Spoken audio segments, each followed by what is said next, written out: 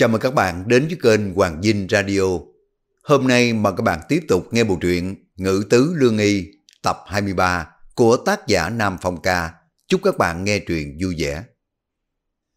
Chương 77 Phương Tam Lão Gia Chuyện thành thân với tạ cảnh tu, tiêu ngự thỏa thuận dây xong liền dứt ra sau đầu. Kỳ thật, cách này chẳng có mấy với biện pháp thoát thân của hắn. Thành thân với tạ cảnh tu cũng coi như đường tắt. Chỉ nhờ làm giả hộ tịch thôi, khẳng định tạ cảnh tu làm tốt hơn hắn mong đợi nhiều. Hộ tịch của hắn hẳn không có gì mờ ám. Điều duy nhất khiến cho hắn bận tâm là phải nói với tạ cảnh tu thế nào. Tạ thế tử tuy có lúc tùy hứng nhưng mà cũng do thần thế quá lớn. Tiêu ngự cảm thấy tạ thế tử vẫn là một thanh niên vô cùng thành thục lý trí. Chỉ cần dùng lý lẽ thuyết phục, không có cố tình gây sự với tạ thế tử là được rồi. Nhìn y đồng ý ba cái điều quy ước là biết, cho nên tiêu ngự không có thấy phiền phức chút nào. Hắn đã đến cửa hàng của Phương Gia ở Kinh Thành hai lần. Cuối cùng cũng đã gặp được đại trưởng quỷ, biết được vài ngày nữa có một vị lão gia của bổn gia Phương Gia đến đây tuần tra cửa hàng. Chỉ cần gặp được một người của họ Phương là Phương Thị sẽ có chỗ dựa. Từ lúc mà biết việc ban hôn, Phương Thị không có một ngày yên tâm. Ở trong nhà của tạ cảnh tu mua cho tiêu ngự làm tâm hồn bất ổn, luôn cho rằng nàng đã liên lụy tiêu ngự. Sau đó Phượng Chiếu Kỳ có đến lần nữa, lần đầu đến đã bị tạ cảnh tu đàn áp, không có thể ở lại để mà gặp Phương Thị. Lần này rốt cuộc cũng được gặp nhau. Rõ ràng Phượng Chiếu Kỳ thân thiết với Phương Thị hơn tiêu ngự nhiều lắm. Tuy là song sinh, nhưng mà Phương Thị không có tự chủ được mà ý lại vào tiêu ngự. Còn với Phượng Chiếu Kỳ, nàng yêu thương cưng chiều thấy rõ. Cùng tuổi cả mà con cả và con út khác biệt quá lớn. Dù gì linh hồn của hắn đã là 30 rồi, đâu có thể giống thiếu niên mười mấy tuổi, làm nũng dưới gối của mẫu thân. Phượng Chiếu Kỳ vốn còn tức tối chuyện hắn phải gả cho tà cảnh tu. Tiêu ngự khuyên nhủ mấy lần còn phải dùng thể diện đảm bảo với Phượng Chiếu Kỳ. Tạ cảnh tu tuyệt đối không có ý vào việc thành thân mà làm bậy. Đây chẳng qua chỉ là biện pháp bọn họ thương lượng để mà thoát khỏi Phượng gia. Phải vậy Phượng Chiếu Kỳ mới chịu đình chiến, giữ thái độ quan sát tà cảnh tu. Tỷ phu tương lai trên danh nghĩa. Hiện tại tiêu ngự chỉ chờ của Phương gia đến Kinh Thành, không ngờ chưa có chờ được Phương lão gia lại phải tiếp một vị khách không mời. Phượng Dân Phi mặc thường phục xuất hiện trước nhà, nhìn tiêu ngự ra mở cửa, mặt chần chừ mất tự nhiên một lát. Tiêu ngự mất kiên nhẫn hỏi, Phượng lão gia đến đây làm gì? Phượng Dân Phi mới trầm mặt không vui nói, Chiếu ngự, dù thế nào đi nữa ta vẫn là phụ thân của ngươi, thái độ của ngươi vậy là sao? Tiêu ngự liếc mắt kinh thường, thấy ngoài cửa bắt đầu có hàng xóm và người đi đường tò mò hóng chuyện. Hắn chỉ có thể mời Phượng Dân Phi vào trong đóng cửa lớn. Từ khi mà chuyển đến tiểu diện này, cổng nhà của hắn dường như đã thành sân khấu kịch tuôn diễn thay đổi mỗi ngày, khiến cho đám người lao động cổ đại lần đầu biết thế nào là sức hấp dẫn của phim truyền hình cẩu quyết chiếu lúc 8 giờ, chẳng trách mọi người xem đến nghiện luôn. Phượng Dân Phi mới vào sảnh, nhìn bốn phía. Người và mẫu thân của người sống ở đây sao? Rất tốt, tiêu ngự ngồi xuống. Không phải là Phượng Lão Gia đến đây để hỏi cái này chứ. Phượng Dân Phi lộ vẻ lúng túng, một lát sau mới nói. Ngọc Nhi, Khâm Thiên Giám đến phủ của chúng ta muốn lấy canh giờ bát tự của ngươi so với bát tự của tạ thế tử. Chuyện này rốt cuộc là sao? Cái việc tứ hôn là thế nào chứ? Phượng lão gia là tâm phúc của hoàng thượng, lẽ ra phải biết rõ hơn ta chứ. Thánh chỉ muốn ta thành thân với tạ thế tử, còn có thể là chuyện gì nữa. Nhưng, nhưng mà ngươi là nam nhân mà. Phượng Dân Phi tức đỏ mặt, mấy cọng râu rung lên. Sao mà ngươi có thể gả cho tạ thế tử được? Chuyện này quả là quan đường đến cực điểm. Tiêu ngự không biết tại sao mà Phượng Dân Phi lại tức giận, khó hiểu nhìn hắn. Thánh chỉ đã ban, chẳng lẽ Phượng Lão Gia muốn ta kháng chỉ bất tuân sao? Giám chính đại nhân nói tạ thế tử đã đến trước mặt của hoàng thượng cầu xin hạ thánh chỉ. Phượng Dân Phi đi tới đi lui cả giận nói y đã đến cầu xin cũng là y nên xin bệ hạ thu hồi mệnh lệnh. Khâm thiên giám đã lấy bát tự của hai người rồi. Chỉ cần khâm thiên giám nói bát tự bất hòa, không có thể làm trái ý trời. Hoàng thượng sẽ không có gì vậy mà gián tội đâu. Nghĩ một chút lại nói, lấy bát tự của hai nam nhân tính chuyện thành thân. Có thể ra được kết quả gì chứ? Làm vậy cũng không có tính là kỳ quân. Tiêu ngự mới cười lạnh. Nếu mà Phượng lão gia suy nghĩ cho ta, sao mà ngươi không trực tiếp nói ra thần thế của ta trước mặt hoàng thượng? Vậy chẳng phải là nhanh chóng, thuận lợi hơn sao? Ngươi, ta biết ngươi, quán hận cái chuyện nhân thế, có thể ngươi không có suy nghĩ cho phượng gia của chúng ta, cũng nên nghĩ cho chính mình chứ. Thánh chỉ đã hạ, ngươi mà dạch trần thân phận sẽ là tội khi quân. Phượng Dân Phi nôn nóng. Ai mà không biết tội khi quân là gì, chắc là rơi từ trên trời xuống. Tiêu ngự cũng chỉ chăm chọc vài câu.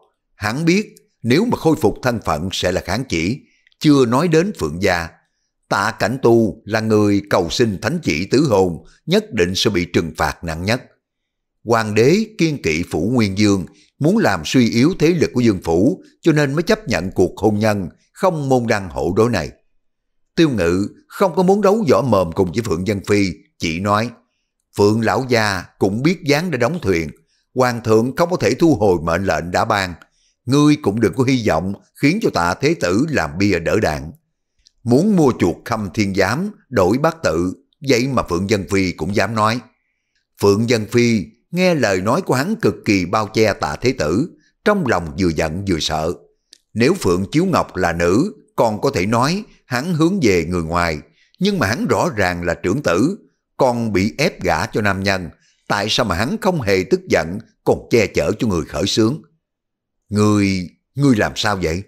Phượng Dân Phi mới đổi giọng, ngươi che chở nam nhân kia, không lẽ ngươi thật sự muốn gả cho y sao? Hiện tại, y đối tốt với ngươi vì xem ngươi là thiên kim quê cát. Chờ thành thân rồi, y phát hiện ngươi là nam nhi. Ngươi tưởng ngươi còn được sống sao? Sao mà ngươi hồ đồ vậy chứ? Tiêu ngự không biết phải nói gì, bị một lão hồ đồ chỉ vào mũi mắng hắn hồ đồ. Rốt cuộc, Phượng lão gia đến đây để làm cái gì? Tiêu ngự mới đứng lên, ta không có thời gian nghe ngươi giảng đạo đâu. Nếu không có chuyện gì, mời Phượng lão gia trở về cho. Bị con trai thẳng thần hạ lệnh đuổi khách, Phượng Dân Phi vô cùng khó chịu. Phụ vi tử cương, dù Phượng Chiếu Ngọc vì hắn mà chịu quan ức, nhưng mà cũng không có nên ngỗ nghịch trưởng bố như vậy chứ. Huống hồ, mấy năm gần đây, hắn vẫn luôn chu cấp về thành Hoài Thiên, thậm chí Lô Thị còn phái người về chăm sóc, đâu phải là hắn không quan tâm. Phượng Dân Phi thấy tấm lòng từ phụ quan tâm lo lắng, Phượng Chiếu Ngọc cứ như là nước đổ đầu dịch, sắc mặt khó coi dùng tay áo. Chờ ngươi bị gã vào trong hậu viện của Dương Phủ, kêu trời không thấu, gọi đất không linh, cũng đừng có hối hận vì quyết định bừa bãi hôm nay. Bách Linh, tiễn khách. Bách Linh không có biết từ đâu nhảy ra, đến trước mặt của Phượng Dân Phi, cười ngọt ngào. Phượng lão gia, ta đưa người ra ngoài. Phượng Dân Phi xanh mặt, chỉ là muốn bỏ về, cuối cùng vẫn nén giận nói, Khâm Thiên Giám và lễ bộ đã phụng chỉ hoàng thượng chuẩn bị cho hôn lễ của ngươi. Kiểu qua... Phượng Dân Phi liếu lưỡi một hồi, phun ra được hai chữ này. Nhất định là phải xuất phát từ Phượng Phủ, ta không có phản đối ngươi ra ở riêng, nhưng mà trước lúc thành thân, phải vào Phượng Phủ ở đó. Tiêu ngự mới gật đầu. Biết rồi. Thời đại này trọng khuôn phép hơn trời, Bất luận xảy ra cái chuyện gì, bất luận hắn có gây sóng gió to lớn thế nào, thì trong mắt của người đời, hắn vẫn là con cháu của Phượng Gia. Vì mang phận nữ tử, cho nên hắn phải gả đi từ Phượng Gia. Nếu là nam tử, phải là vì Phượng Gia gây dựng cơ đồ. Ngày nào hắn còn mang thân phận của Phượng Chiếu Ngọc, ngày đó vẫn là một thể với Phượng Gia, muốn hoàn toàn thoát thân chỉ là mơ mộng hảo quyền. Phượng Dân Phi Thấy hắn lạnh nhạt đáp lời, không có còn lý do gì để mở lại, dùng tay áo, mang một bụng giận dữ bỏ về. Tiêu ngự nhìn cái bóng lưng của hắn thở dài một hơi. Nếu không phải là tình thế ép buộc Phượng Dân Phi đi đến bước này, hắn hẳn sẽ là người chồng, người cha tốt, bảo vệ gia đình. Đáng tiếc, hắn không có chịu nổi quá nhiều áp lực. Lương tâm cắn rứt cũng không có dằn được bản tính ích kỷ nhu nhược. Nói là hắn lo lắng, rốt cuộc có mấy phần là thật, chỉ sợ chính bản thân của Phượng Dân Phi cũng không biết. Sau khi mà xem bác tự xong, sẽ định ngày thành thân. xem ra ngày đó sẽ không quá xa. Trước lúc đó phải sắp xếp cho Phượng Thị xong xuôi. Mấy ngày sau, có một người hầu từ cửa hiệu tơ lụa của Phương Gia đến báo Phương Tam Lão Gia đã lên kinh thành. Đại trưởng quỷ đã kể lại chuyện của Vương Thị cho Tam Lão Gia. Hiện tại Phương Tam Lão Gia đang chờ hắn trong cửa hiệu. Tiêu ngự mới dội giả, theo chân của người hầu đến cửa hiệu, đi thẳng vào tiểu lâu, nằm sâu trong cửa hiệu, trên tầng 2 của tiểu lâu. Người hầu đứng ngoài cửa thông báo, ông chủ, Phượng Công Tử đến rồi. Phượng Công Tử mau vào đi. Tam lão gia của chúng ta chờ đã lâu. Đại trưởng quỷ tự ra mở cửa mời tiêu ngự vào. Một bóng người cao ráo đứng đưa lưng về phía họ, mặt thanh y xanh như màu trúc, áo bào rộng càng tôn lên cái dáng vẻ phong lưu. Người kia đứng trước thư án, lật xem một quyển sách dày cọp. Người kia nghe tiếng xoay lại, nhìn tiêu ngự cười nói, Người chính là ngoại sanh của ta sao? Tiêu ngự thấy dung mạo của người kia, chỉ thấy mắt lóa cả lên, lập tức sinh ra cảm giác kinh diễm. Ở hiện đại, hắn cũng từng khám bệnh cho vài minh tinh và chính khách, nhưng mà chưa từng thấy ai có tướng mạo đẹp đến thế này. Lông mày dài mảnh, mắt phượng thâm thúy, sống mũi thẳng, chớp mũi cao, khéo léo như là nữ tử, đôi môi mỏng cũng phớt hồng. Ngũ quan tinh xảo, làn da trắng nõn, không có dương chút phấn son. Chỉ khiến cho người ta thẫn thờ vì vẻ đẹp bất phần giới tính. Phương Tam lão già dường như đã quen bị người khác ngắm nghía rồi, cũng không có để bụng vẫn cười nói. Ta là tam đệ của mẫu thân ngươi, ngươi nên gọi ta một tiếng tam cửu đi. Tiêu ngự dội khom người hành lễ, chiếu ngọc bái kiến tam cửu, không cần phải đa lễ. Phương Tam lão già mới đỡ hắn, bảo hắn ngồi xuống ghế. Đại trưởng quỷ biết họ muốn nói chuyện riêng, dội dẫn người hầu rời đi. Phương Tam lão già mới nói, ta có nghe về chuyện mẫu thân ngươi ly hôn, hiện tại ngươi mới dội vàng tìm người của Phương gia, có phải là muốn tìm người che chở mẫu thân không? Phương Tam lão gia là dân buôn bán, nói đúng vào trọng điểm, không có dây dưa dài dòng, trái ngược với dáng vẻ xinh đẹp như đóa hoa trong nhà ấm. Tiêu ngự mới gật đầu, ta biết năm xưa ngoại tổ đã giận mẫu thân của ta không chịu ly hôn với Phượng Dân Phi mới trục xuất mẫu thân ra khỏi nhà. Bây giờ mẫu thân đã làm được rồi, Phương gia cũng nên nhận nàng về chứ, không biết cửu cửu có thể giúp ta chuyện này không? Phương Tam lão gia cười nói, tất nhiên là được rồi, ngươi không nhờ, ta cũng không có thể để nữ nhi của Phương gia lưu lạc bên ngoài. Ở thành Nam có một trạch viện của ta, vẫn luôn để trống, chỉ có mấy người hầu quản lý thôi, để cho mẫu thân ngươi dọn vào đó ở đi. Tiêu ngự không có nghĩ vấn đề trăn trở bấy lâu nay lại được giải quyết dễ dàng thế này. Phương Tam lão gia tuy nhìn rất trẻ nhưng có vẻ là gia chủ của Phương gia. Khẩu khí, an bài hoàn toàn thuộc về một gia chủ. Tiêu ngự mới lập tức cảm tạ. Phương Tam lão gia giơ tay cản hắn, nói tiếp. Hiện tại ở chỗ đó còn vắng vẻ, nhưng mà Phương gia đang chuẩn bị đặt chân lên kinh thành. Năm sau á, người trong tộc sẽ dời lên đây. Lúc đó trạch diện kia không có đủ chỗ chứa đâu. Ta đang tính mua thêm mấy cái diện tử xung quanh, thừa dịp mọi người chưa đến, tu sửa mở rộng khu nhà, xây thành đại trạch, làm chỗ ở cho người trong tộc. Bây giờ ta đã thương lượng giá cả với chủ nhân của mấy trạch diện đó xong rồi, nhưng mà vẫn chưa có thông qua được kẻ tai quan phủ. Chậm trễ không có lấy được ghế đất. Ta nghe nói hôn phu của ngươi là nguyên dương thế tử của đúng không? Thì ra câu cuối cùng mới là trọng điểm. Đúng là bất luận thứ gì, chỉ cần lợi dụng được, phải lợi dụng ngay.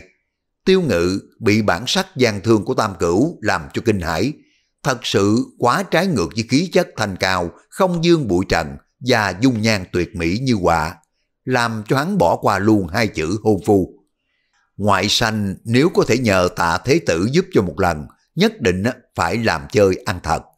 Phương Tam lão gia nói, nếu mà dùng bạc báo đáp, e là bất kính với tạ thế tử. Sau này tạ thế tử muốn sử dụng lãnh địa của phương gia, phương gia tình nguyện cống hiến chút sức mọn cho thế tử. Lời này thật là dễ nghe, tiêu ngự suy tính một lúc mới hiểu được. Cái gì mà góp chút sức mọn, muốn khuếch trường thế lực ở Kinh Thành, trước hết phải tìm được chỗ dựa. Ánh mắt của Tam Cửu, hắn quả thật là rất tin tưởng, Nếu có thể dựa vào tạ thế tử bằng năng lực và nhân phẩm quy, chuyến này xem như là ôm được cái đùi vàng rồi. Phương Tam lão già đẩy tách trà đến trước mặt của tiêu ngự cười nói, ý ngoại sanh thế nào? Tiêu ngự mới dội vàng gật đầu đáp, ta sẽ làm theo ý của thế tử. Phương gia là nhà ngoại của hắn, đương nhiên đáng tin hơn người khác. Nếu mà giúp tạ cảnh tu và phương gia hợp tác, thì đôi bên đều được lợi, dạy gì mà không làm. Phương Tam lão già làm việc rất có hiệu suất, hai người mới nhanh chóng thống nhất ý kiến. Phương Tam lão già giữ tiêu ngự lại dùng cơm rồi mới cho người hầu đưa hắn về. Mình thì lập tức lôi cái bàn tính ra lạch cạch tính toán sổ sách. Theo sắp xếp của Phương Tam lão già, Phương Thị rất nhanh đã dời đến trạch diện của Phương gia. Tiêu Ngự ở cùng với Phương Thị hai ngày. Phượng Dân Phi liền cho xe ngựa đến đón hắn trở về Phượng Phủ chờ gã. Phương Thị nước mắt ràng rụa nhìn Tiêu Ngự lên xe. Cũng nhờ Tiêu Ngự hết lời khuyên can hai ngày nay, cho nàng biết gã con trai cho tạ thế tử thật ra là lối thoát hiệu quả nhất. Lúc này Phương Thị mới không có ái nái và kinh quản, nhưng mà nhìn bóng lưng của nhi tử, trong lòng nàng thật sự nảy sinh một cảm giác lưu luyến, không có muốn gả con đi. Chờ lần sau gặp lại, hắn không còn chỉ là con trai của nàng nữa, mà còn là con dâu của tạ gia. Phương Thị tưởng tượng ra cái tình cảnh đó, cảm giác quan đường và não nề lại ùa về, khóc không có nín được. Người hầu của Phương gia dây quanh khuyên nhủ nàng, nói là đại tiểu thư gả vào trong dương phủ là được hưởng phúc rồi, lại nói tương lai sinh con là nàng có thể được bế cháu ngoại rồi. Khuyên còn chưa có xong, càng nói Phương Thị càng muốn khóc. Chương 78 Minh Châu quận chúa Tiêu ngự dùng thân phận Phượng Đại Tiểu Thư chuyển vào Phượng Phủ, được an bài ở trong Minh Nguyệt Cát, được xem như là một diện tử đẹp nhất của Phượng Phủ. Có lẽ do cân nhắc đến lúc thành thân sẽ có vô số ánh mắt nhìn vào, cho nên Phượng Dân Phi không có dám để xảy ra sơ sót. Hôm sau, Phủ Nguyên Dương giống trống khu chiên, phái hai nha hoàng thiếp thân đến, nói rõ là giao cho Phượng Đại Tiểu Thư. Phượng Dân Phi nhìn hai nha hoàng, cao to thô kệch, cao hơn mình một cái đầu, mặt xám xịt nói không nên lời, không có muốn nhìn họ lâu hơn nữa, khoát tay bảo người đưa họ đến Minh Nguyệt Cát. Nô tỳ A Lục, nô tỳ là A Thập, trăm miệng một lời bái kiến Phượng Đại Phu. Tiêu ngự nhìn hai người quỳ trước mặt, khóe miệng cũng co rút. Hai vị hiệp sĩ mau đứng lên. Tiêu ngự mới cười nói, nghe cái tên như là số thứ tự, bọn họ hẳn là thuộc cùng một tổ chức như là nhị cửu bên cạnh tạ cảnh tu. Tiêu ngự mới hỏi, tạ thế tử các ngươi phải tới sao? A Lục mới đáp, từ lúc mà Phượng Đại Phu vào kinh, bọn ta liền đã phụng mệnh thế tử âm thầm bảo hộ, Thế tử nói hiện tại đã chuyển sang lối sáng, bọn ta cũng có thể hoàn minh chính đại, theo bên người của Phượng Đại Phu, thuận tiện hành động. Sang lối sáng sao? Thái dương của tiêu ngự nảy liên hồi, tạ thế tử vẫn cứ tự ý làm việc, tự đưa ra quyết định. Vậy xin làm phiền hai vị. Tiêu ngự nói, để cho Bách Linh dẫn họ đi thu xếp chỗ ở đi. Bách Linh cười ngọt ngào, mời hai vị tỷ tỷ theo ta. Nét mặt của hai vị tỷ tỷ không có giấu được vẻ mất tự nhiên, nhăn nhó dặn dẹo theo Bách Linh ra ngoài. Ở Phượng Phủ được mấy ngày, tiêu ngự phát hiện từ lúc mà hắn vào ở không có thấy mặt Lô Thị, không biết do Phượng Dân Phi căn dặn hay Lô Thị không có muốn gặp hắn. Tiêu ngự mừng rỡ vì được thanh tịnh, nếu được sống yên ổn ở đây cho đến gã ra ngoài, sau này không có phải dính líu với Phượng gia nữa thì quá tốt rồi nhưng có vài người nhất định không có cho hắn được toại nguyện. Tiêu ngự ở Phượng Phủ không có làm gì, liền tìm mấy que gỗ thẳng đuột, đốt thành bút thang, viết lại kiến thức kiếp trước, phân loại rõ ràng, biên soạn thạch sách. Thứ nhất, vì sợ lâu quá, không có làm việc, sẽ quên. Hai là vì tương lai lâu dài về sau. Về cái phần sau này thế nào, tiêu ngự tạm thời chưa có ý tưởng. Hôm đó, hắn đang dùi đầu múa bút thành văn, ở bên ngoài mới đột nhiên truyền đến tiếng của Bách Linh. Tiểu thư, đại phu nhân phái người đến thăm. Tiêu ngự đã bị giật mình, tay đang vẽ sơ đồ động mạch đã bị sai nét. Đáng tiếc ở đây không có gươm tẩy, hắn chỉ có thể vẽ lại thôi. Chuyện gì? Tiêu ngự mở bật cửa, tức giận hỏi. nha hoàng đến truyền lời quảng hốt, hơi co người lùi về sau một bước cúi đầu nói, bẩm đại tiểu thư, đại phu nhân đang mở yến tiệc trong giường, chiêu đãi các phu nhân và tiểu thư đến quý phủ bái phỏng. Phu nhân nói, người mới tới kinh thành, nên nhận thức vài người, thuận tiện sau này còn qua lại, cho nên bảo nô tỳ đến mời người qua đó một chuyến. Tiêu ngự mới cao mài, hắn không có hề hứng thú với phu nhân tiểu thư cái gì hết. Đoán chừng họ đến cũng vì cái danh hôn thê của Nguyên Dương Thế Tử của hắn thôi. Ngươi về nói với phu nhân là ta bận việc, không có đến quấy rầy các vị phu nhân tiểu thư. Tiêu ngự nói rồi, quay vào thư phòng, lấy cái tờ giấy khác cắm cúi vẽ lại. Ghét nhất là người phá đám người ta làm việc. Nha hoàng không có dám nhiều lời, cẩn thận lui khỏi diện tử, chạy đến giường. Trung tâm khu vườn của Phượng Phủ có một hồ nước, giữa hồ là một căn đình nghỉ mát. Lúc này, bốn bề căn đình gian lụa, bên trong đặt mấy lò sưởi và bàn tròn. Lô thị rất chú tâm sắp xếp chiêu đãi các quý phu nhân và tiểu thư. Trên bàn tròn đặt rất nhiều cái món ăn phong phú, bày biện khéo léo. Đáng tiếc, tâm tư dài nhân không có đặt vào yến tiệc. Trước đó vài ngày, chuyện chính thê của Phượng Thái Y đến cửa đòi ly hôn đã lan truyền khắp nơi. Ánh mắt của mọi người nhìn Lô Thị có hơi đàm tiếu. Năm đó, thanh danh của tài tử Lô Thị nước tiếng kinh thành, khiến cho dù số công tử thế gia thương nhớ. Trong đó, đương nhiên cũng có phu quân hiện tại của các vị phu nhân ở đây. Tuy tuổi trẻ bồng bột, nhưng mà loại nữ tử khiến cho nam nhân đổ xô chạy theo như dịch. Thậm chí đã có mười mấy năm còn khen không ngớt lời, dĩ nhiên khiến cho nữ tử khác canh tị. Ngày đó, nàng đột ngột gả cho một thái y quèn dù danh tiểu tốt, không biết bao nhiêu dương tôn công tử tiếc núi thẫn thờ, cũng làm một đám tiểu thư khuê cát yên lòng. Mỹ danh gian dội thì đã sao, chẳng phải cũng đã gả cho một phu quân không có tài cán gì sao? Không ngờ sau đó Phượng Dân Phi lại lên như diều gặp gió, nhảy lên làm tâm phúc trước mặt của hoàng đế. Các quý phu nhân có tâm tư gì cũng chỉ có thể nén xuống đáy lòng, đành phải chăm chỉ qua lại với Phượng Đại Phu Nhân Lô Thị. Lại không nghĩ mười mấy năm sau nhảy ra một Phương Thị. Phương Thị lấy thân phận chính thất phu nhân để mà ly hôn. Vậy Lô Thị thì sao? Nghiêm khắc mà nói thì nàng chẳng bằng thiếp thất. Chiến tranh danh vọng chốn kinh thành chính là như vậy. Hôm trước còn được người người bỡ đỡ, hôm sau như là chim sẻ xa lưới. Các quý phu nhân thân phận cao sang đương nhiên không có muốn hạ mình qua lại với Lô Thị nữa. Yến tiệc náo nhiệt như hôm nay đã lâu rồi chưa thấy. Dĩ nhiên mọi người không có đến vì Lô Thị mà vì Phượng Đại Tiểu Thư trong truyền thuyết. Được nuôi ở nông thôn từ bé, không hiểu lễ giáo quy củ, thậm chí hiếu đạo cơ bản nhất cũng dứt sau đầu. Dẫn mẫu thân đánh tới cửa đòi ly hôn phụ thân. Vài ngày trước còn bị cuốn vào một vụ án mạng. Vừa mới đến Kinh Thành mà đại danh đã gian xa, khiếm nhã cho đến mức khiến cho người ta không biết nên khóc hay là nên cười. Làm thế nào lại có thể khiến cho Nguyên Dương Thế Tử được bao nhiêu tiểu thư mắt cao hơn đầu nhắm tới coi trọng. Mấy năm nay, các thế lực chúng kinh thành biến hóa khôn lường.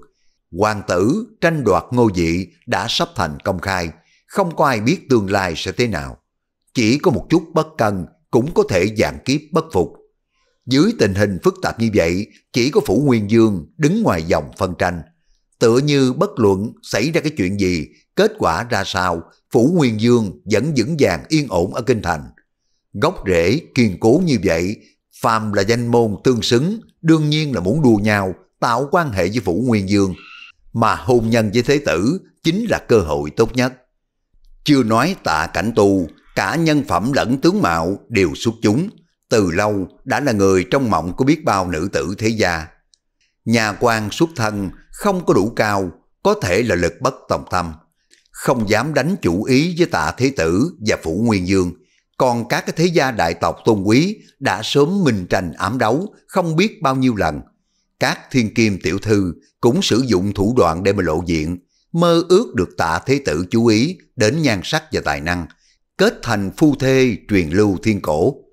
Không ai ngờ được cơ hội tốt như vậy cuối cùng lại rơi xuống một người quê mùa bất nhã. Làm sao mà mọi người không bất bình phẫn hận được? Nhà hoàng đến hành lễ với đô Thị. Đại phu nhân, đại tiểu thư nói nàng đang bận việc, không có đến quấy rầy. Nha hoàng truyền lại lời của tiêu ngự không sót chữ nào, tất cả nhất thời biến sắc. Một phu nhân, mặt tròn, dốc người mập mạp hư lạnh lên một tiếng. Thể diện của Phượng Đại Tiểu Thư cũng thật là quá lớn đó, còn chưa có làm thế tử phi mà chẳng có để người khác vào trong mắt. Nếu tương lai thành nguyên dương phi, không biết mắt của Phượng Đại Tiểu Thư còn thấy được ai nữa chứ. Nàng là phu nhân của một ngự sử trong triều, xưa nay nói năng thẳng thừng. Mọi người đều nể mặt phu quân của nàng cho nên chẳng đi so đo. Lúc này nàng lại vừa dặn nói ra cái tiếng lòng tất cả. Lô Thị mới cười nói, Động phu nhân, đừng có nóng giận, Chiếu Ngọc á, tuổi không có lớn, lại quen với tác phong tự do nơi nông thôn, đương nhiên không có thể rành lễ nghi như các tiểu thư kinh thành. Ta sẽ sai người, gọi nàng một lần nữa, nhất định mời được nàng đến ra mắt chư vị phu nhân. Lô phu nhân, ta thấy kế nữ kia rất không có nể mặt người đó. Một bóng người diễm lệ bước ra, thái độ vô cùng hỏng hách. Hãy để cho nha hoàng của bổn quận chúa đi mời đi. Ta ngược lại muốn xem lá gan của nàng lớn đến mức nào. Nữ tử trong khoảng 17-18 tuổi, mắt ngọc mài ngài, một thân áo đỏ càng khiến cho toàn thân như đang bốc lửa hừng hực, không hề che giấu. Nếu tình ý sẽ nhận ra nàng chính là tiểu thư đã giả nam trà trộn trong cái đám đông ngày mà tiêu ngự mới tới kinh thành. Nữ tử mới hất hàm gọi hai nha hoàng thiếp thân của mình. Các người đến đó đi, có bắt trói cũng phải trói Phượng Đại Tiểu Thư đến trước mặt của bổn quận chúa. Bổn quận chúa muốn nhìn xem nàng quất sắc thiên hương cỡ nào mà có thể dụ dỗ tạ thế tử không màng đến thể diện của gia tộc, nhất định cầu xin được cưới một hồ ly tinh, không có ra gì như thế. Nàng ăn nói bất nhã không có thể tả, vậy mà đám người đang ngồi không dám chỉ trích.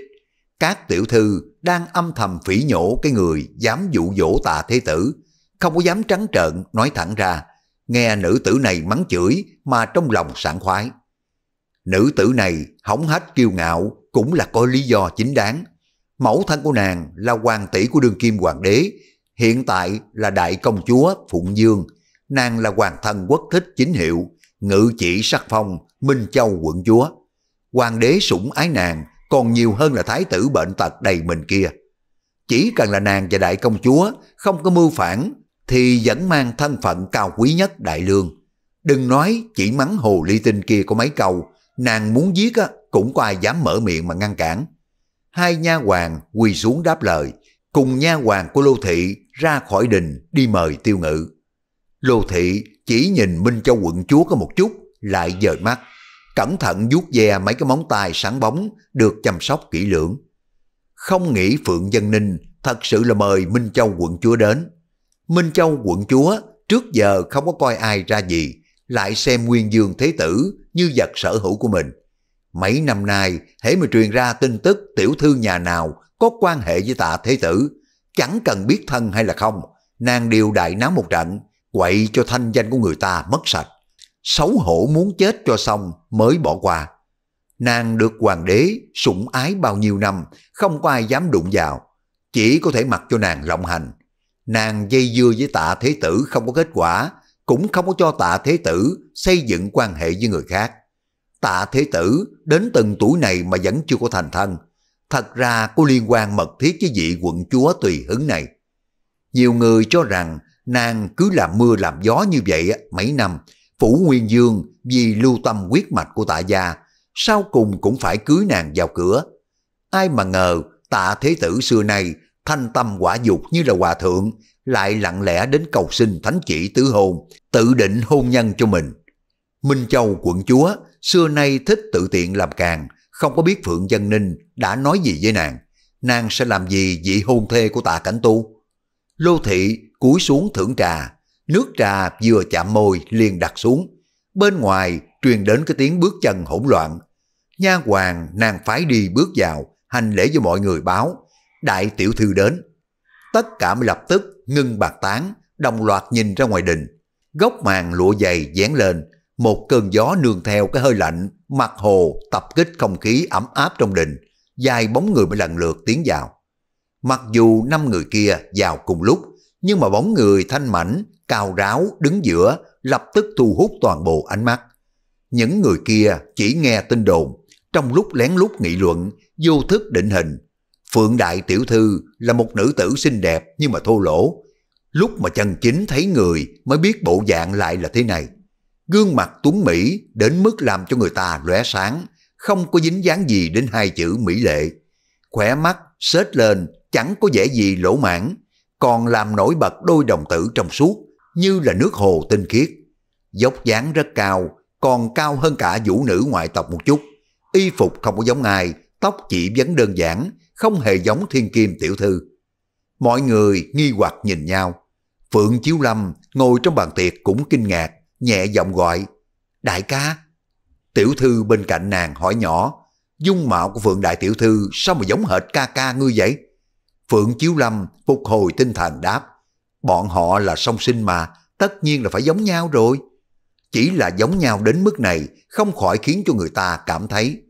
Lô thị nhìn tướng mà quán quá giống Phượng Chiếu Kỳ, cũng sửng sốt. Đây là lần đầu tiên nàng gặp Phượng Chiếu Ngọc lúc lớn. Nàng không có biết hai người lại giống nhau như là hai giọt nước thế này. Lô thị trầm tư một chốc, mặt lộ vẻ đăm chiêu. Họ vừa mới vào đình, Minh Châu quận chúa bước lên hỏi, Ngươi chính là Phượng Chiếu Ngọc sao? Tiêu ngự nhìn hai nha hoàng suýt chút nữa ra tay bắt mình, đứng sau nữ tử áo đỏ, mới biết người tìm hắn gây sự không phải là lô thị mà là nữ tử xa lạ này. Hắn tưởng là lô thị thông minh sẽ không có phái người đến gây xung đột, miễn cho bị bắt lấy nhược điểm gây sức ép. Dù gì á, lô thị vẫn còn danh nghĩa trưởng bối. Sớm biết đã để cho lão lục và lão thập ném hai nàng ra ngoài, đỡ phải đến đây. Nhìn dáng vẻ là biết, lai giả bất thiện, ta chính là Phượng Chiêu Ngọc. Tiêu ngự nói, Minh Châu quận chúa đánh giá hắn từ trên xuống dưới cười lạnh. Quả nhiên thứ nhà quê vô lễ. Phượng Chiếu Ngọc, ngươi thấy bổn quận chúa tại sao mà không quỳ? Tiêu ngự nhíu mày, Lô Thị mở lời. Vị này chính là Minh Châu quận chúa được bệ hạ ngự phong. Lô Thị đang nói, liền có nha hoàng cầm bồ đoàn ném đến trước mặt của hắn, dĩ nhiên chờ cho hắn quỳ xuống. Minh Châu quận chúa ngẩng cao đầu liếc xuống, vẻ mặt cao ngạo. Tiêu ngự mới lắc đầu, đúng là cái trò hề ấu trĩ. Không cần phải nói, đây chắc chắn là nợ đào hoa của tạ cảnh tu. Chắc là muốn đến làm nhục hắn sao? Quỳ một chút là có thể dàn xếp ổn thỏa. Đáng tiếc, hắn không có muốn quỳ. Quỳ trước thánh chỉ của hoàng đế hồ đồ kia đã là cực hạn rồi. Một đứa con nít miệng còn hôi sữa mà muốn hắn quỳ sao? Thậm chí còn đeo thân phận tình địch. Thật sự xem hắn là bùng nhão à? Nếu chư vị không có chính sự thì ta trở về. Tiêu ngự mới nhìn xung quanh, A Lục A Thập đã thay hắn dán cái màn lụa. Minh Châu quận chúa mới cất giọng, Phượng Đại Tiểu Thư quả nhiên tính khí không vừa rồi. Chỉ là có phải khí phách của Phượng Đại Tiểu Thư dùng nhầm chỗ rồi không? Người dám vậy tức là phớt lờ hoàng quyền rồi, bàn cái chết cũng không đủ nữa. Tiêu ngự không có thèm phản ứng, xoay người ra ngoài. Minh Châu quận chúa không ngờ lại bị người ta ngó lơ, tức giận dậm chân, chỉ vào hắn. Ngươi dám to gan, coi thường bổn quận chúa, còn không mau bắt nàng lái. Hai luồng trưởng phong đánh đến sau lưng, A Thập chắn trước người của tiêu ngự, A Lục ra tay giải quyết, chỉ vài chiều đã chế phục được hai nha hoàng tập kích, ném qua một bên. Chương 79 Lấy ác trị ác Minh Châu quận chúa không ngờ tiêu ngự thật sự dám cho người hắn động thủ với người của nàng, mà võ công hai nha hoàng xấu xí kia còn cao hơn người của nàng rất nhiều. Tiêu ngự căn bản không có hề kiên dè thân phận của nàng, nàng không có chiếm được ưu thế nào. Người dám động thủ với bổn quận chúa sao? Minh Châu quận chúa giận tái mặt, đột ngột chuyển hướng sang ngự sử phu nhân. Động phu nhân, thứ người không có hiểu lễ phép này, người mau đến dạy dỗ nàng đi. Nàng dám to gan, coi thường hoàng gia, bất kính với hoàng tộc, phải chịu tội gì? Đổng phu nhân tuy là ngự sử phu nhân, nhưng mà cũng chỉ là nữ tử suốt ngày quanh quẩn trong nhà, nào có biết luật pháp chứ. Tội bất kính với hoàng tộc, không lớn không nhỏ. Đổng phu nhân bước ra nói, nhưng mà ra tay với quận chúa, chính là đại bất kính rồi, chỉ là xin nể tình Phượng Đại Tiểu Thư, là thế tử phi tương lai của Dương Phủ, nên chuyện lớn quá nhỏ, dĩ hòa di quý, quận chúa thấy thế nào? Minh Châu quận chúa không có đáp lại, gắt gao nhìn tiêu ngự chồng chọc, bộc lộ quán hận và căm ghét rõ ràng. Tiêu ngự nhíu mày, hắn dĩ nhiên không có để quận chúa này vào trong mắt, cũng không có dựa vào tạ cảnh tu, coi hoàng đế kia gấp gáp bàn thánh chỉ tứ hôn quan đường. Không lẽ hoàng đế thật sự cảm thấy hắn đối với tạ thế tử không phải là ngẫm thấy thân phận của hắn thấp kém sao? Lại chẳng có hiền lương thục đức, tiếng tâm không tốt mới cố ý tạo thêm phiền phức cho Phủ Nguyên Dương sao? Coi như vị quận chúa này bẩm báo lên hoàng đế, sao hoàng đế có thể cam lòng dứt bỏ, quân cờ quá tốt là hắn. Nếu hắn đương nhiên không sợ, nhưng mà ánh mắt mang ác ý trắng trợn thật làm cho người ta không có thoải mái. quan khách vốn đang ngồi bàn quan giờ hai mặt nhìn nhau. Con ngốc cũng nhận ra cái bầu không khí đang trở nên căng thẳng. Lúc trước, Minh Châu quận chúa không có hề nương tay với những nữ tử dám tiếp cận tạ cảnh tu. Huống chi, đây còn là vị hôn thê chiêu cáo thiên hạ của tạ thế tử. Nhìn ánh mắt của nàng càng thấy sát khí lộ lộ. Nếu không phải là vì thời điểm không thích hợp, mọi người đã sớm cáo từ chạy về rồi. Lúc này ngồi đây, quả thật như ngồi trên cái đống than. Xin quận chúa bớt giận, coi như là chừa chút mặt mũi cho chủ tiệc là ta đi. Lô thị mới đột ngột đứng dậy. Đại tiểu thư lớn lên ở thành Hoài Thiên, không có biết quy củ của thế gia kinh thành, nhưng là người có tấm lòng chân thành, không phải là nàng cố ý bất kính với quận chúa đâu. Quận chúa xưa nay cũng là nữ trung hào kiệt, không câu nệ tiểu tiết. Xin hãy để cho đại tiểu thư lấy trà thay rượu, kính quận chúa một ly, cứ thế mà bỏ qua hiềm khích cho. Tiêu ngự nhìn Lô Thị, Lô Thị mỉm cười lãnh đạm dáng, còn khẽ gật đầu. Hắn lại nhìn Minh Châu quận chúa, liền thấy cái vị quận chúa kia hung ác lườm hắn một cái, dùng tay với nha hoàng của nàng. Đi lấy ba ly rượu cho nàng đi. Thật dễ dàng đồng ý với hòa giải của Lô Thị. Tiêu ngự hơi cúi đầu, đầu ngón tay gõ nhẹ cái giặt áo. Một cái ly nồng nặc mùi rượu đưa đến trước mặt của hắn. Tiêu ngự ngẩng lên nhìn mọi người trong đình. Những người khác dường như cũng không có ngờ xung đột dữ dội như thế, cứ thế mà tiêu tan.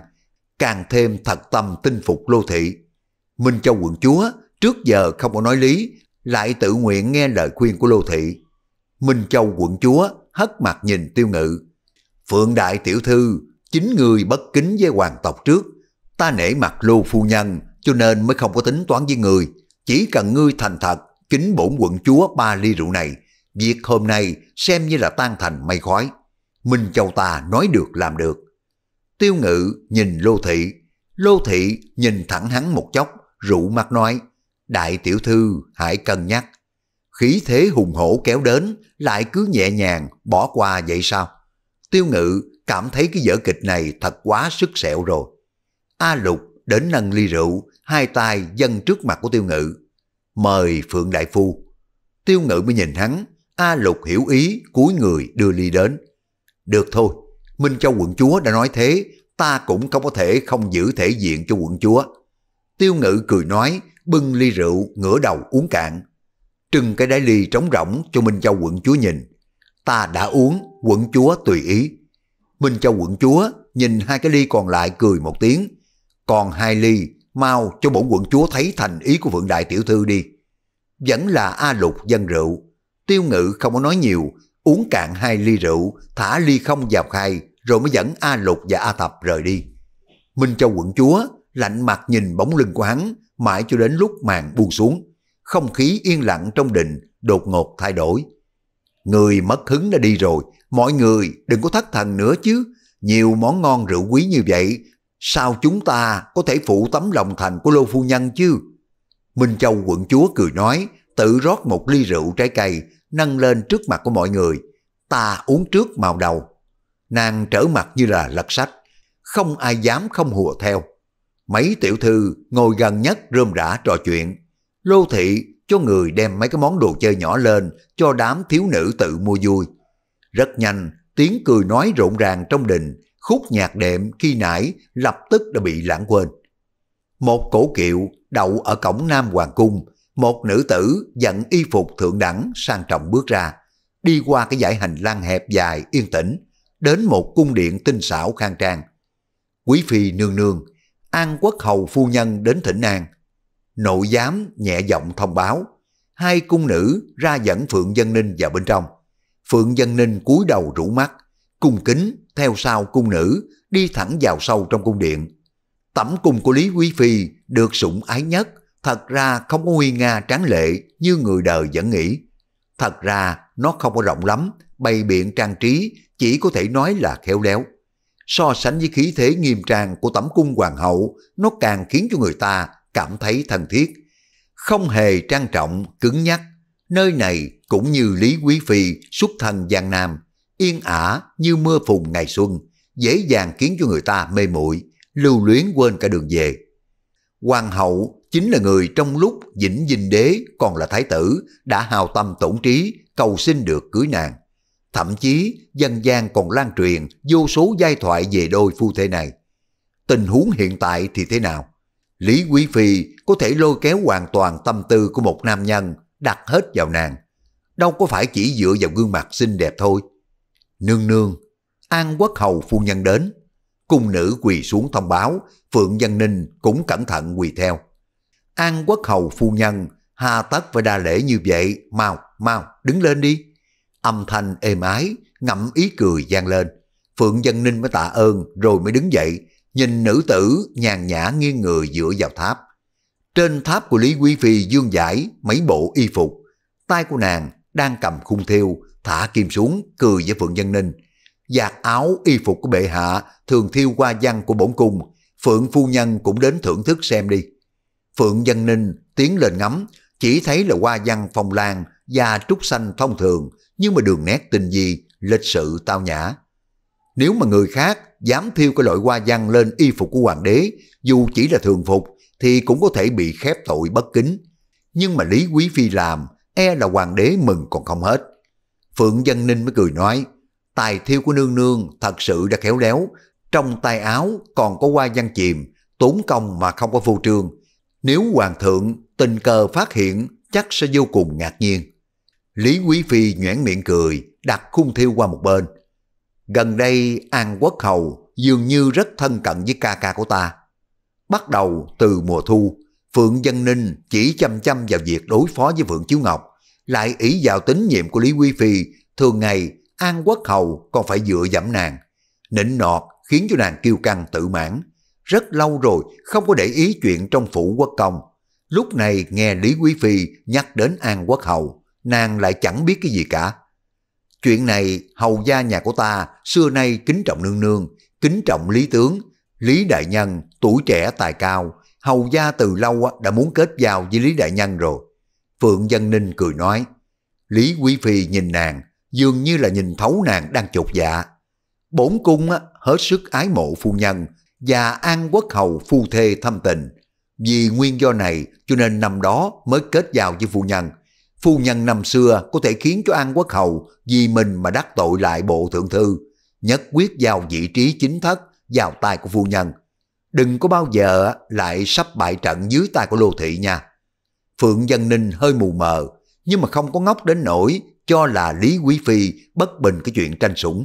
Nhưng mà Lý Quý Phi còn quản đến cả chuyện của An Quốc Hầu, cánh tài dương cũng quá dài rồi. Quý Phi nương nương nói đúng, hầu gia nhà của ta là người hoài niệm, tạo cơ hội cho vài người coi trời bằng dung. Nương nương không nói, ta cũng sẽ nhắc nhở hầu gia. Mặc kệ mục đích của Lý Quý Phi là gì, muốn nàng bắt lấy tâm tư của An Quốc Hầu thì chỉ có lợi chứ không có hại. Lại nói, gần đây lộ thị quả thật rất lớn lối, dù sao chuyện của Phượng Chiếu Ngọc đã được giải quyết, nàng nên chú tâm vào chuyện khác. Phu nhân biết là tốt rồi. Lý Quý Phi cúi đầu cười, nữ nhân chúng ta chẳng phải là cả đời đều dựa vào phu quân sao? Nhưng mà nữ nhân thông minh không chỉ dừng lại ở bước khiến cho nam nhân của mình phục tùng. Tim của Phượng Nhân Ninh giật thoát, dối cười ứng thành. Không có dừng lại ở bước khiến cho nam nhân phục tùng, vậy tiếp theo phải làm cái gì? Lý Quý Phi thông thả thở ra lại nói, hai ngày nay trong cung cũng không có được yên bình. Minh Châu quận chúa nghe nói đến việc thành thân của tạ thế tử gần như lật tung cả hoàng cung. Hoàng thượng à, cũng sợ nàng, hình như là Minh Châu có đến tìm phu nhân. Phượng Dân Ninh mới dội đáp, Thế tử Phi là cháu của thân phụ, Minh Châu quận chúa đến tìm thân phụ, chỉ nói mấy câu về hoàn cảnh của Thế Tử Phi. Minh Châu ái mộ tạ Thế Tử đã lâu rồi, tính tình của nàng lại nóng nảy, chỉ sợ sẽ gây khó dễ cho Thế Tử Phi. Lý Quý Phi mới rủ mắt, cầm tách trà lên thổi bọt. Tuyệt đối đừng có để xảy ra sự cố đó. Phượng Dân Ninh cười miễn cưỡng. Quận chúa trời sinh ngay thẳng nhưng mà xưa nay vẫn biết chừng mực. Nương nương không cần phải lo. Mấy cái trò giặt giảnh thì không sao nếu gây ra tai nạn chết người. E là hoàng thượng có thương nàng cũng phải trừng phạt thích đáng. Lý Quý Phi liếc Phượng Dân Ninh lại cười. Thôi, bỏ đi, chỉ là chuyện của đám trẻ con thôi, bổn cung hà tất phải lo âu thai cho các nàng. Phượng Dân Ninh mỉm cười, lại nói chuyện phím với Lý Quý Phi một hồi, thấy Lý Quý Phi lộ vẻ mệt mỏi, mới dỗ dàng đứng lên cáo từ. Đợi cho bóng Phượng Dân Ninh khuất sau cửa điện, một nhũ mẫu hơn 40 tuổi bưng dược thiện vào. Nương nương nghĩ một chút đi, cẩn thận kẻo hại mắt. Nàng mới dọn mớ y phục của hoàng đế sang một bên, đặt dược thiện lên bàn. Lý Quý Phi tiện tay ném khung thiêu, đám tơ vàng chỉ bạc, đượm tình ý dương giải khắp nơi. Nàng vẫn trẻ trung như ngày nào, vẻ đẹp kiêu sa quyến rũ bội phần so với vô vàng thiếu nữ. Nàng chỉ lớn hơn tạ thế tử, lạnh lùng tuấn mỹ có 4 tuổi thôi. Vậy mà ngày ngày phải ôm ấp với một hoàng đế già nua lẩm cẩm. Toàn thân tản ra cái mùi vị mục nát, làm cho người ta buồn nôn. Lý Quý Phi uống dược thiện, kéo tay ma ma ngồi xuống với nàng. Nhũ mẫu, người nói xem, Phượng Dân Ninh cố ý châm ngòi hiềm khích giữa Minh Châu với cháu của nàng là có ý đồ gì? Tiểu thư, mặc kệ nàng có ý đồ gì, mục đích cùng lắm chỉ là mượn đao giết người thôi. Nhũ mẫu, ngươi thấy nàng có thể thành công không? Lý Quý Phi trước mặt của nhũ mẫu không còn mang dáng vẻ của một sủng phi mà như là tiểu cô nương, đôi mắt đông đầy khát khao. Sẽ thành công. Nhũ mẫu vỗ nhẹ Lý Quý Phi, chỉ cần là nguyện vọng của tiểu thư, ông trời khiến cho tiểu thư được như ý. Ta muốn hoàng nhi của ta danh chính ngôn thuận lên làm thái tử, làm hoàng đế được muôn dân kính ngưỡng. Lý Quý Phi rút vào trong lòng của nhũ mẫu, nhắm mắt lại, dùng âm thanh nỉ non, nhẹ cho đến mức không có nghe rõ. Ta là Thái Hậu, hắn là thần tử, hắn không có thành thân, ta không tái giá. Nửa đêm, tiêu ngự trằn trọc, không có vào giấc ngủ, cảm giác như là bị thiếu ngủ, càng lúc càng mệt mỏi. Dường như hắn đã bỏ sót cái chuyện gì, nhưng mà không thể nhớ ra được. Cách đó không xa, truyền đến tiếng ầm ĩ, tiêu ngự bật dậy ngay, lắng tai nghe, lại chẳng thấy gì, hoàn toàn yên tĩnh. Ngủ tiếp cũng không có được, tiêu ngự dứt khoát, bước xuống giường, rót nước ấm uống cho thấm giọng. Nước còn chưa có uống xong, đã nghe tiếng bước chân dùng dập ở bên ngoài. Phương hướng là đến diện tử của Lô Thị. Nhanh, nhanh lên, mời đại phu nữa, gọi tất cả đại phu đi theo. Tiêu ngự mới ngạc nhiên, khoác áo ra cửa, âm thanh càng lúc càng rõ ràng. Mời không đến, sao mà lại không đến chứ? Là giọng của Phượng Dân Phi. Có người trả lời, lão gia, đúng là mời không có đến, vậy nên quản gia của phủ đại công chúa mới phái người đến mời lão gia, nói là Minh Châu quận chúa đột nhiên đã phát bệnh nặng, mời bao nhiêu đại phu cũng chẳng không ra. Lão gia, lão gia, người của phủ tiểu cô đến, muốn mau chóng gặp lão gia. Giọng của Phượng Dân Phi vừa dỗ dàng vừa quảng. Để cho họ chờ đi, ta ra ngay. Các người ở trong coi phu nhân, ta sẽ lập tức trở lại. Âm thanh của đoàn người ngày một xa hơn, tiêu ngự kéo chặt áo, quay về phòng bò lên giường. Lưu Thị và Minh Châu quận chúa phát bệnh nặng cùng một đêm, không phải là quá trùng hợp sao? Không biết Phượng Dân Ninh xảy ra cái chuyện gì nữa, không lẽ cũng phát bệnh? Khung cảnh A Lục, dân rượu dục qua, tiêu ngự mở tròn có mắt, nhìn qua văn trên màn. Thì ra mục đích của màn kịch ở Yến Tiệc chính là mượn rượu hạ độc sao? Đáng tiếc, gậy ông đập lưng ông. Phủ Nguyên Dương dài cái bóng đen xẹt qua cái tàn cây dưới chân tường như bóng ma, đồng loạt tụ tập ở một diện tử. Cửa đại sảnh mở ra, một bóng đen cao lớn, khoác áo choàng đứng dưới trăng, mấy người áo đen dội quỳ xuống. Bẩm chủ nhân, chúng ta đã hoàn thành nhiệm vụ. Không bỏ sót ai chứ. Ngón tay trái thon dài, chuyển động trên viên ngọc nhỏ, âm thanh lạnh lẽo như gió đêm. Có 5 người tham gia vào âm mưu, không có bỏ sót ai. Một người áo đen báo cáo, Phượng Đại Phu khó ngủ, lăn lộn cả đêm, không biết có phải bị dọa sợ không, có thể cần thế tử an ủi. Nhị cửu đứng sau tạ cảnh tu, không nhịn được co rút khóe miệng. Phượng Đại Phu bị dọa sợ, đúng là chuyện mắc cười nhất mà hắn đã từng nghe. Tạ thế tử cúi đầu hồi lâu, nghĩ ngợi rồi mới lắc đầu. Không thể, trước lúc mà thành thân, tốt nhất không có được gặp nhau. Đây là phong tục từ xưa, ta nhìn một chút cũng không sao. Chủ nhân nói rất có lý, đám người áo đen trăm miệng một lời. Tạ cảnh tu lại nói, ta viết một lá thư, lão lục giúp ta mang đến cho Phượng Đại Phu, nhớ phải tự tay giao vào tai quán. Ban ngày là nha hoàng A Lục, hiện tại là hộ vệ lão lục giòn giọng đáp. Sáng hôm sau, tiêu ngự vừa mở cửa đã gặp A Lục chờ bên ngoài, suýt bị rớt mất hồn. Hắn không có đành lòng nhìn thẳng, quay đi chỗ khác.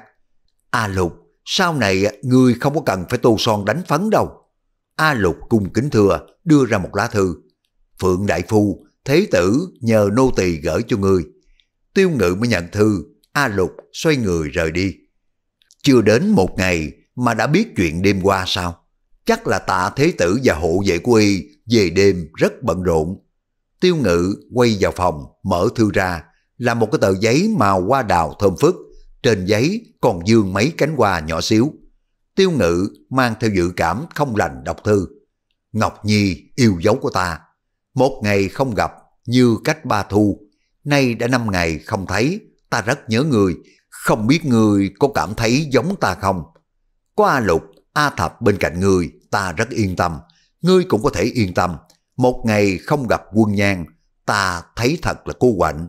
May mắn qua lục báo tin mỗi ngày, giúp cho ta giải mối tơ dò. Ngày ngày mong chờ cái thời gian gã làm thê của ta, tâm tình vui sướng ngất ngây. Nhịn một khắc tương tư để được trăm năm cùng chung chăn gối. Ta cảm thấy cái mùi vị tương tư cũng ngọt ngào. Thư ngắn, ý nhiều, không có thể giải bài chi tiết. Trong chờ hồi âm, tỏ lòng nhung nhớ. Phu quân cảnh tu. Tiêu ngự trừng mắt. A lục vừa lúc gõ cửa nói giọng vào. Phượng đại phu, thế tử nói ngươi phải hồi âm ngay. Tiêu ngự đến bên bàn, cầm bút lông chấm mực, dùng tay viết, nhét vào bao thư giao cho A lục. Báo cáo kết quả đi nào. Tiêu ngự vỗ ngực qua lục. Tạ cảnh tu nhận được hồi âm, đứng bên cửa sổ bán nguyệt, ưu nhã mở thư xem. Chỉ thấy trên giấy là mấy cái chữ rồng bay phượng múa, ngắn gọn xúc tích. Lần sau gặp mặt, xin thế tử làm biểu cảm vui sướng ngất ngay cho xem một chút. Tạ cảnh tu cũng trừng mắt. Tuy chỉ có một câu, nhưng mà vẫn xếp lại cẩn thận, kẹp vào một tập thơ. Các bạn vừa nghe xong tập 23 Ngự Tứ Lương Nghi. Cảm ơn các bạn đã quan tâm theo dõi. Hẹn gặp lại các bạn trong phần tiếp theo. Thân ái, chào tạm biệt.